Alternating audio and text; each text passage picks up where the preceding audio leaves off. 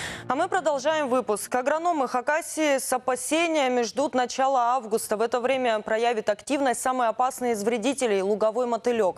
Взрослая насекомая, небольшая бабочка, никакой угрозы не несет. Но вот ее гусеницы, появления которых и ждут специалисты, практически всеядны.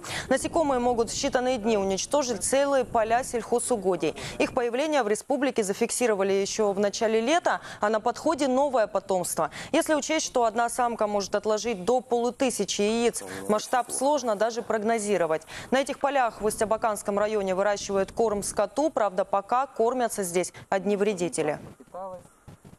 Самый такой рассадник лугового мотылька. Вот они гусеницы. Уже довольно-таки вылезли. Прожорливые, кушают, питаются.